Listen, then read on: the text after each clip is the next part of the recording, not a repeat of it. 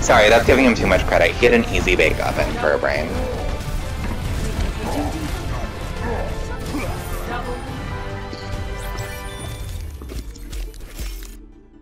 Amazing.